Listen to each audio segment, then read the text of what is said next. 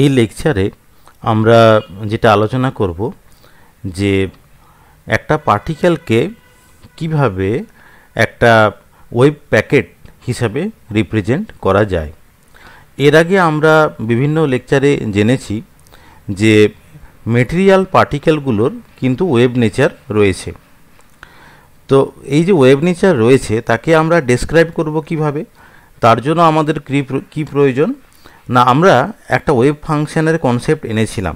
সে সম্বন্ধেও আমরা আগে লেকচারে আলোচনা করেছি যে কেন আমাদের এই ওয়েব ফাংশন প্রয়োজন হচ্ছে।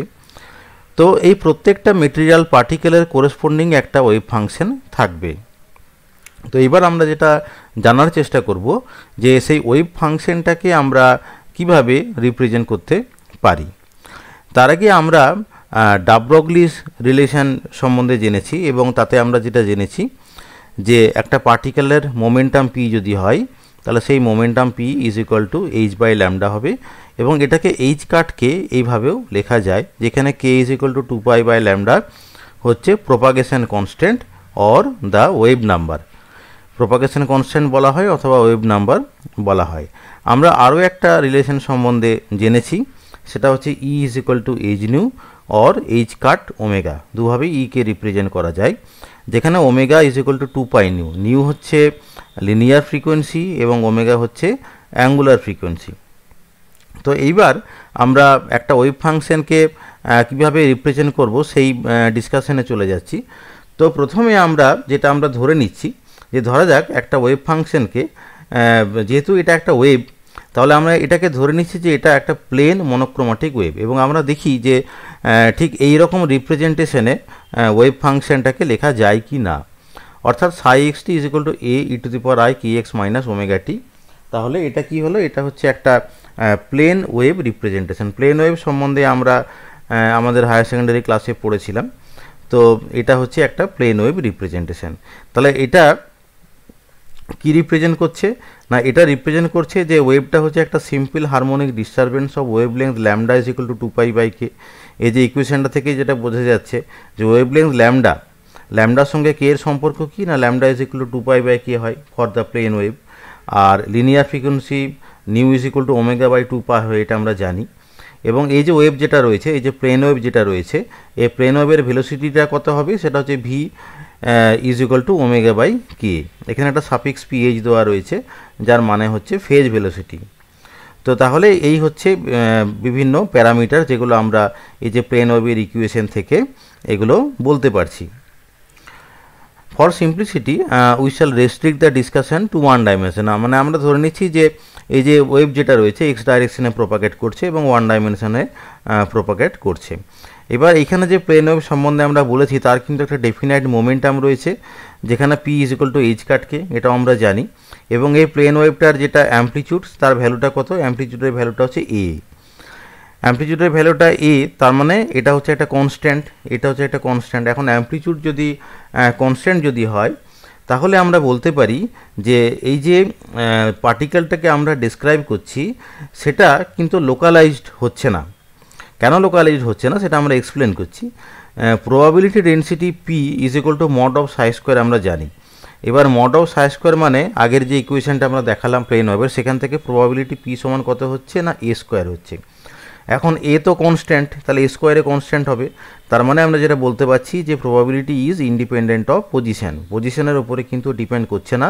প্রবাবিলিটিটা হচ্ছে কনস্ট্যান্ট এটার মিনিংটা হচ্ছে এরকম যে the particle has equal probability of being found anywhere from minus to plus infinity অর্থাৎ মাইনাস ইনফিনিটি থেকে প্লাস ইনফিনিটির মধ্যে যে কোনো জায়গা থেকে যে কোনো জায়গাতে সেই পার্টিকেলটাকে পাওয়া যাবে। কেন পাওয়া যাবে? তার কারণটা হচ্ছে তার প্রবাবিলিটি হচ্ছে ইন্ডিপেন্ডেন্ট অফ পজিশন তাহলে কি হচ্ছে?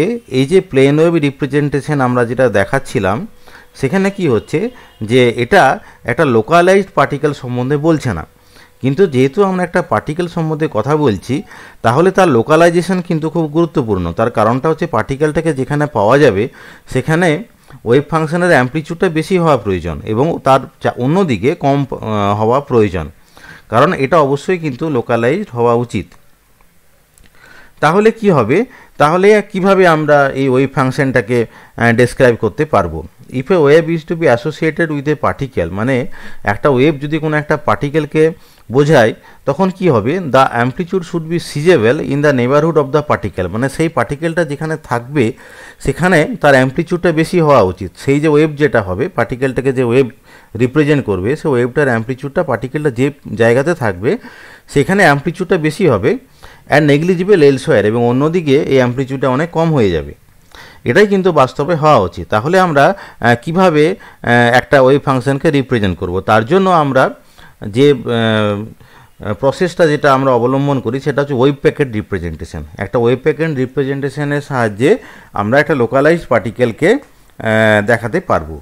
এই wave packet can be form by superposition of plane waves of different wave numbers in such a way that they interfere with each other destructively outside of a given region of space মানে জিনিসটা এরকম বোঝাচ্ছে যে plane wave wave প্যাকেটকে আমরা form করব কী করে? না superposition of plane waves মানে অনেকগুলো প্লেন ওয়েভসের সুপার পজিশন হয়ে একটা ওয়েভ প্যাকেট তৈরি হবে। এবার এই যে সুপার পজিশন যখন হবে, তখন কি কীভাবে হবে?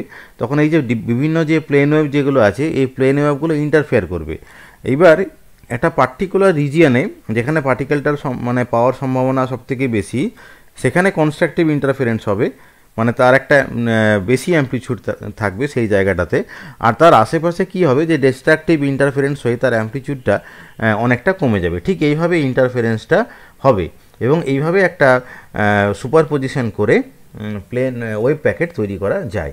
তাহলে এটাকে আমরা ম্যাথামেটিক্যালি কীভাবে বলব? যে সাই এক্সটি যদি একটা ওয়েব প্যাকেট যদি হয় তাহলে এই psi x t is equal to one by root two pi minus infinity থেকে plus infinity A k e to the power i k x minus omega t into d k তার মানে আমরা তো জানি যে ইন্টিগ্রেশন মানেই হচ্ছে summation তাহলে এই যে e to the A e to the power i k x minus omega t এটা ছিল একটা প্লেন ওয়েভের রিপ্রেজেন্টেশন তাহলে এরকম অনেকগুলো প্লেন ওয়েভের সুপার পজিশন হচ্ছে। সেই কারণে আমরা ইন্টিগ্রেশন সিম্বল দিচ্ছি এবং এর অ্যাম্পলিচিউডটা হচ্ছে ভ্যারিয়েবল এই যে এখানে এ লেখা রয়েছে where the amplitude A and the angular frequency omega A এবং ওমেগা ডিপেন্ড অন কে মানে ওয়েব নাম্বার কে এর উপরে ডিপেন্ড করে অ্যাম্পলিচিউডটা ভ্যারি করছে এবং এদের সুপার পজিশন হয়ে আলটিমেটলি একটা wave packet psi x t তৈরি হচ্ছে। এবং আমরা যেহেতু বলছি যে আমরা চাইছি যে এই ওয়েব প্যাকেটটা এমনভাবে হবে যাতে করে একটা লোকালাইজড পার্টিকেলকে সে বলতে পারবে বা চিহ্নিত করতে পারবে। তাই জন্য যে তার যে একটা প্রিসাইজ ডিফাইন্ড মোমেন্টাম থাকবে সেই মানে রিকোয়ারমেন্টটা আমাদের থাকবে না। তার কারণটা হচ্ছে আমরা চাইছি যাতে পার্টিকেলটা লোকালাইজড হয়। এইবারে এখানে একটা one by root two pi একটা ফ্যাক্টর দেওয়া রয়েছে। এবার এটা কেন দেওয়া হয়েছে আমরা পরে সেটা বুঝতে পারব। এটা basically from the requirement of Fourier transform থেকে দেওয়া রয়েছে। তো এই যে সাই এক্সির একটা এক্সপ্রেশন আমরা দিলাম এই যে ইকুয়েশন যেটা রয়েছে, এটা যদি আমরা ইনভার্স ফুরিয়ার ট্রান্সফর্ম যদি নিই, এটা বেসিক্যালি একটা ফুরিয়ার ট্রান্সফর্মের ইকুয়েশন তো এ কে যেটা রয়েছে অ্যাম্পলিচিউড যেটা আমরা বলছিলাম কে এর উপরে ডিপেন্ড করবে, সেটাকে আমরা পাবো কী করে? না, সেটা আমরা ইনভার্স ফুরিয়ার ট্রান্সফর্ম করে পাবো। মানে সাই এক্সটি সমান যদি এরকম একটা যদি হয়, তাহলে ইকুয়েশন ফাইভ পয়েন্ট সেভেন যেটা রয়েছে, সেটাকে ইনভার্স ফুরিয়ার ট্রান্সফর্ম বলা হয়। মানে psi x t is related to A k তাহলে একে কে কে সাই এক্সটির ফর্মে প্রকাশ করা যাবে। ইকুয়েশন ফাইভ পয়েন্ট সেভেন হচ্ছে এরকম যে one by root two pi এখানে জাস্ট ইন্টারচেঞ্জ হয়ে গেছে। এখানে আমরা দেখলেই বুঝতে পারব যে এখানে একে যদি হয়, তাহলে এখানে সাই হবে, কিন্তু এক্সপোনেনশিয়াল এখানে একটা নেগেটিভ সাইন চলে আসবে। এটাকে ইনভার্স ফুরিয়ার ট্রান্সফর্ম বলে। তো since we want the wave packet to describe a particle we must now localize it মানে এটাকে আমাকে এনিহাও লোকালাইজ করতে হবে। এবং আমরা ধরে নিচ্ছি এই যে একে মানে এই যে অ্যাম্পিচিউড যেটা আছে A k is centered around some particular value k is equal to k zero মানে একটা particular value k is equal to k জিরোতে একের ভ্যালুটা হচ্ছে ম্যাক্সিমাম এবং তার আশেপাশে একের ভ্যালুটা কিন্তু কমে যাবে। Falling rapidly to zero outside an interval k zero minus delta k by two comma k zero plus delta k by two মানে আমি একটা লিমিট ধরে নিলাম যে এই রেঞ্জটার মধ্যে একের ভ্যালুটা ম্যাক্সিমাম হবে এবং outside this range A k will fall তাহলে এর যে মানে স্পেসিংটা হচ্ছে কিন্তু ডেল্টাকে আমি যদি দুটোকে মাইনাস করি, তাহলে ডেল্টাকেই পাবো। এই ডেল্টাকের ভ্যালুটা খুব স্মল হবে। মানে খুব অল্প রিজেন জুড়ে একের ভ্যালুটা ম্যাক্সিমাম হবে। এই কারণে আমি সাই এক্সটা যে ডেফিনেশনটাতে এখানে লিমিটটা মাইনাস ইনফিনিটি থেকে প্লাস ইনফিনিটি দিয়েছিলাম, এটা আমরা এইখানে লিমিটটাকে চেঞ্জ করে নিলাম। কেন করলাম? তার কারণটা হচ্ছে যে বাকি রিজনে একের ভ্যালুটা যেহেতু নেগলিজিবল মানে একে ক্লোজ টু জিরো তাহলে সেই ইন্টিগ্রেশনের আলটিমেটলি কোনো ভ্যালু থাকবে না। এই জন্য লিমিটটাকে আমরা যেখানে একের ভ্যালুটার একটা সিগনিফিকেন্ট সেখানে সেই রেঞ্জটাকে দিয়ে দিলাম k zero minus delta k by two k zero plus delta k by two আর আমরা অ্যাসিউম করে নিচ্ছি যে omega vary slowly with k আমরা আগেই বলেছিলাম যে ওমেগা হচ্ছে k dependent but omega vary slowly with k এবং ওমেগা কে কে এইভাবে একটা টেলার সিরিজের আকারে প্রকাশ করা যায়। এই টেলার সিরিজ সম্বন্ধে আমরা পরে আবার ডিটেলসে পড়ব। তো যাই হোক না কেন omega is a function of k এবং at the about the point k zero omega k k এইভাবে টেলার সিরিজের আকারে প্রকাশ করা যায়। এইবারে এই যে ডি ওমেগা আমরা এক কাজ করছি এখানে যে হায়ার অর্ডারে যে টার্ম যেগুলো রয়েছে, যেহেতু ওমেগা ভ্যারিস স্লোলি উইথকে এখানে আমরা হায়ার অর্ডার যে টার্ম যেগুলো রয়েছে, সেই হায়ার অর্ডার যে টার্মগুলোকে আমরা নেগলেক্ট করব। আমরা আপ টু মানে d omega by d k এই অবধি আমরা কনসিডার করব। এই পরবর্তী এই টার্মগুলো কনসিডার করার দরকার নেই, তার কারণটা হচ্ছে সেই ভ্যালুগুলো খুব কম। কারণ এখানে বলাই রয়েছে যে ওমেগা ভ্যারি স্লোলি উইথকে তাহলে এই টার্মগুলো কোনো কন্ট্রিবিউট করছে না। তাহলে এই যে ওমেগার যে ভ্যালু যেটা রয়েছে, সেই ওমেগার আমরা ভ্যালুটা আমরা কি করব? ওমেগার আমরা এই ভ্যালুটা এই যে এখানে যে ওমেগা যেটা রয়েছে ইকুয়েশন ফাইভ পয়েন্ট এইটে ওমেগার যে জায়গাটা রয়েছে, সেই ওমেগার জায়গাটাতে আমরা ওমেগাকের এক্সপ্রেশনটা এখানে বসাবো। বসিয়ে পরে এই যে ইকুয়েশন আমরা যেটা পেলাম এখানে আমরা যেটা দেখতে পাচ্ছি যে এখানে একটা এক্সপোনেনশিয়াল ফ্যাক্টর রয়েছে, শুধুমাত্র k zero x minus omega zero টিটাকে আমরা রাখছি, অর্থাৎ এইভাবে লিখছি। এই পুরো ইকুয়েশনটাকে একটু আমরা রিঅ্যারেঞ্জ করে লিখছি যে exponential i k zero x minus omega zero t লিখলাম, আর বাকি পুরো যে মানে ফ্যাক্টর যেটা রয়েছে, এই পুরো ফ্যাক্টরটাকে আমরা লিখলাম এফ এক্সটি হিসাবে, যেখানে এফ এক্সটি মনে হচ্ছে রেস্ট অফ দ্য ফ্যাক্টর মানে বাকি যা আছে এই পুরোটাকে আমি এফ এক্সটি বললাম। এবং আমি এখানে দেখছি যে এফ এক্সটি যেটা রয়েছে, এখানে ভেতরে রয়েছে যে x minus d omega by d k into t যেখানে কে মাইনাস কে জিরো একটা কনস্ট্যান্ট দিয়ে এই টার্মটাকে গুণ করা আছে। তো এটার মিনিং যেটা হলো যে ইকুয়েশন ফাইভ পয়েন্ট নাইন যেটা আছে এটা হচ্ছে কিসের? না, এটা হচ্ছে একটা wave function psi x representation এবং এটা হচ্ছে ওয়েব প্যাকেট রিপ্রেজেন্টেশন এবং এটা একটা ওয়েবকে ডিনোট করছে, যার ওয়েব লেন্থ হচ্ছে two pi by k zero এটা কী করে বুঝি যে এক্সপোনেন্সিয়াল ফ্যাক্টর থেকে আমি কথাটা বলছি। যে এটার ওয়েব লেন্থ হচ্ছে lambda is equal to two pi by k zero কারণ ল্যামডার সঙ্গে এই কে জিরোর এটাই সম্পর্ক আমরা জানি। তাহলে ওয়েভলেংথ হচ্ছে two pi by k zero R frequency কত হবে? যেটা হচ্ছে angular frequency omega zero linear frequency তাহলে omega zero by two pi হবে। এবং এই ফ্যাক্টরের সঙ্গে একটা এফ এক্সটি গুণ করা আছে, যেখানে এফ এক্সির মানটা হচ্ছে equation five point one zero দিয়ে ডিসক্রাইব করা আছে। তো এই যে এফ এক্সটি হচ্ছে একটা ফাংশন তার মানে হচ্ছে এই ফাংশনটা এই যে ওয়েব যেটা আছে, এই ওয়েবটাকে মডিউলেট করবে। এই মডিউলেট করার মানেটা আমি পরে বলছি। তো ওয়েবটাকে মডিউলেট করবে by the envelope F x t The envelope depends upon x and t only uh, through the combination x minus d omega by dk into dt. তাহলে এই যে ফাংশন যেটা আছে এই ফাংশনটা x minus d omega by d k into t এই টার্মটা দিয়ে গভর্ন হচ্ছে তাহলে কি হচ্ছে যে এইটা সাই এক্সটি হচ্ছে একটা ওয়েব প্যাকেট রিপ্রেজেন্টেশন মানে এটা একটা ওয়েবকে রিপ্রেজেন্টেশন করছে but it is a wave packet which moves with a group velocity v g is equal to d omega by d k কেন d omega by d k বললাম? এই যে F এক্সটিতে আমরা যদি দেখি, আমরা আমরা যদি এটাকে একটা ওয়েবের সঙ্গে যদি কম্পেয়ার করি, তাহলে এটা actually x minus v into t হওয়া উচিত ছিল। তো f v g is equal to আমরা d omega by d k আমরা তুলনা করে আমরা বলতে পারছি। এটা হচ্ছে ভেলোসিটি তো আমরা যেটা বলছিলাম যে কেন এটা মডুলেটেড বলছি বা কেন এনভেলাপ বলছি, এই ছবিটা দেখলেই বোঝা যাবে। এই, এইটা হচ্ছে সাই এক্সটির সঙ্গে এক্স এক্সের গ্রাফিক্যাল প্লট তো তাতে যেটা দেখা যাচ্ছে যে এখানে অ্যাম্পলিচিউডটা হচ্ছে ভ্যারিয়েবল একটা নির্দিষ্ট জায়গায় অ্যাম্পলিচিউডটা বেশি এবং অন্যান্য জায়গায় অ্যাম্পলিচিউডটা হচ্ছে কম। এবং আমরা যদি এই যে ডটেড যে কার্ভ যেটা আছে, এই ডটেড কার্ভটা অ্যাকচুয়ালি হচ্ছে এফ এক্সটির প্লট তো এই এফ এক্সটি হচ্ছে কি? এফ এক্সটি বেসিক্যালি একটা এনভেলাপ আমরা এইভাবে ভাবছি যে এই ওয়েবটা একটা এনভেলাপের মধ্যে আবদ্ধ আছে বা একটা প্যাকেটের মধ্যে আবদ্ধ আছে। এইভাবে আমরা ভাবছি এই যে ওয়েবটা, এটা হচ্ছে একটা প্যাকেট যে ডটেড কার্ভ যেটা আছে, এটাকে আমরা প্যাকেট হিসেবে ভাবতে পারি, যেটা হচ্ছে একটা এনভেলাপের মতন। এবং এই এনভেলাপটা কতটা স্পিডে যাচ্ছে না ভিজি স্পিডে যাচ্ছে, যেখানে ভিজিকে আমরা বলছি গ্রুপ ভেলোসিটি তাহলে এইটা হচ্ছে যে ওয়েব প্যাকেট আমরা কেন বলছি বা এনভেলাপ আমরা কেন বলছি?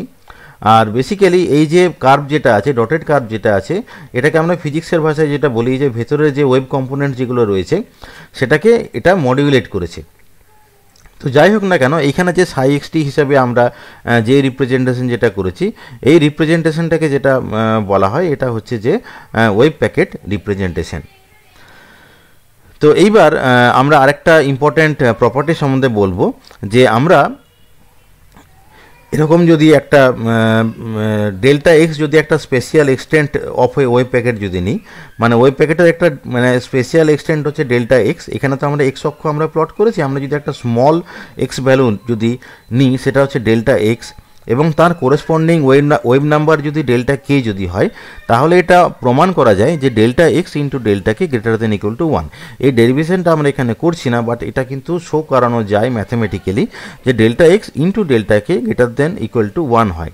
এটার মিনিংটা কি? এটার ফিজিক্যাল সিগনিফিকেন্সটা হচ্ছে এরকম যে it is impossible to make both the widths delta x and delta k small মানে হচ্ছে আমি একসঙ্গে ডেল্টা এক্স এবং ডেল্টাকে দুজনকেই কিন্তু স্মল করতে পারব না। কারণ কি?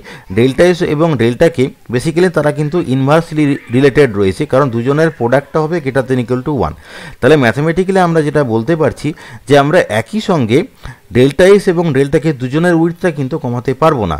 Thus smaller the spatial extent of a wave packet মানে ডেল্টা এক্স যদি কম যদি হয় the larger is the range of wave numbers in the Fourier decomposition মানে ডেল্টা এক্সটাকে আমরা যদি কমানোর যদি চেষ্টা করি the larger is the range of wave numbers in the Fourier decomposition মানে এই যে এখানে ফুরিয়ার ডিকম্পোজিশন যেটা রয়েছে, এগুলো হচ্ছে ডিকম্পোজ করা হয়েছে মানে এই যে একটা, দুটো, তিনটে, চারটে, পাঁচটা, ছটা, অনেকগুলো কম্পোনেন্ট আমরা পাচ্ছি।